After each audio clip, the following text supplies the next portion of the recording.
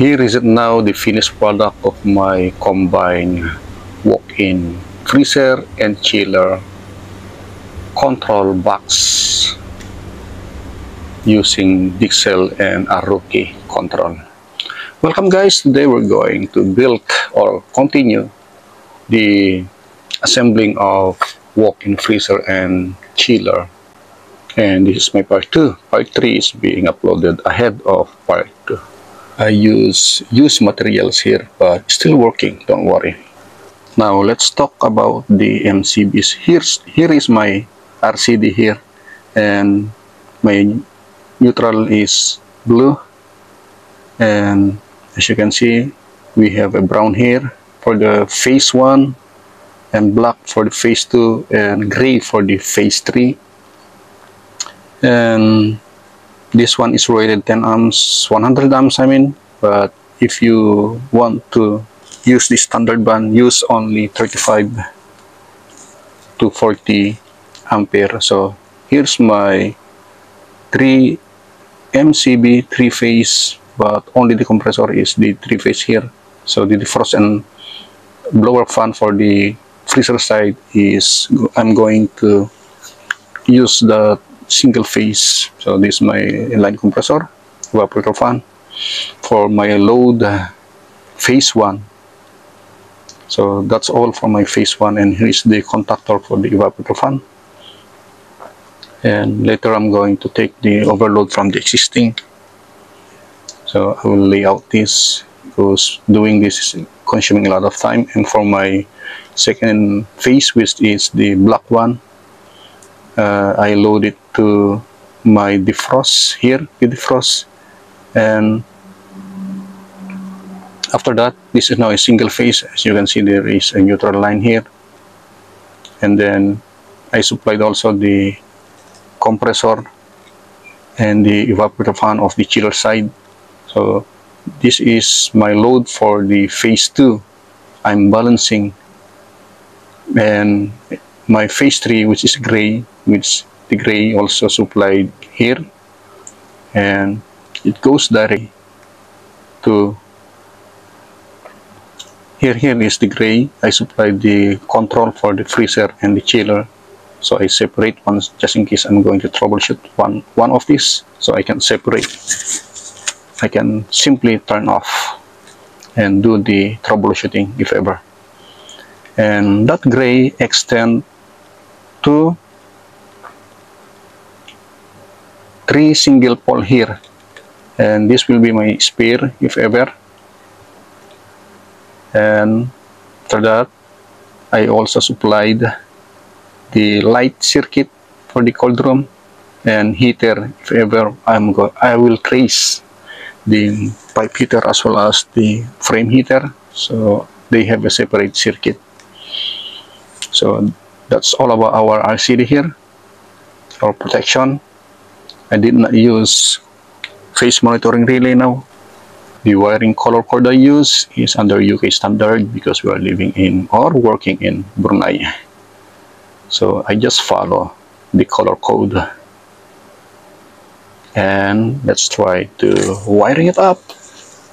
So the wiring connection for this is simple just simply use bus bar on top but because I have uh, different MCBs from three phase to single phase to single pole so I I use wires as my bus bar instead. And as intended just wire up the MCB for the freezer compressor to the contactor with overload there. And next is the blower fan with the contactor but the overload I'm going to take from the existing unit. Just proceed to the other contactor with the MCB as well. And we are now wiring up the compressor uh, contactor to the uh, Dixell control. So from here I made a series video uh, prior to the installation of this control panel box dual freezer and a chiller. And I discussed there how to wire this freezer side. And here is the reality now guys. Now I'm wiring up the four indicators for the compressor blower fan defrost and trip. So I'm wiring up the neutral line and and the trip light which is the black one it goes to the overload of the contactor for the compressor. And that is for the freezer side. On top of this is the freezer side freezer side and the lower part is the chiller side. And now I'm tapping uh, the live wire and it connect to the A1 contactor of for the freezer. And that is being connected to the line number 3 of the Dixell and that is the compressor. And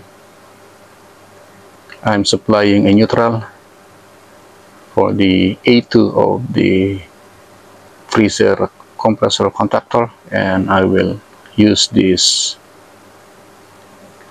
connector here. So I have a neutral line. Now the connection of this one guys is very simple. Just use simple analysis and you can do it without any problem. So I have a sketch here. If you want I'm going I'm going to show up the here's the block diagram just in case you needed it. The connection is simple from MCB to contactor to overload and connect it to the compressor in the outdoor unit. And it's all done as simple as that. And now we're going to wire up the blower signal. Signal came from the Dixell that is line number two. And as well as I'm going to supply also the blower light indicator. So here. I'm wiring up and this white one here goes to the contactor A1 or coil and just put a neutral and your coil is now supplied. And as you can see I am looping the neutral from the contactor and supplying the coil of the contactor. As simple as that. So you may apply this all to your circuit breaker with the contactor. That is in relation of course with the Dixell as simple as that. Now about the programming I have a lot of tutorial on how to program both freezer and chiller and after that we now proceed to the defrost. And I'm now supplying both the trip light and the coil of the conductor for the defrost. Now I'm using yellow line here. I don't have with me a tiny wire. Number 20 can do the wiring for this control but I don't have it so what I'm using are used wires so I did not quotation for number 20 gauge of wire here. So here I'm going to supply also a neutral. So both of my freezer sides are now connected. And part 3 of this video is my chiller side connection and now I'm going to wire up the sensor line. We have a room sensor and evaporator sensor.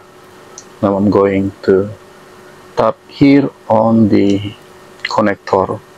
So when I connect this to the unit we have a connector to make the connection easy and simple and after this we are done. Thanks for watching everyone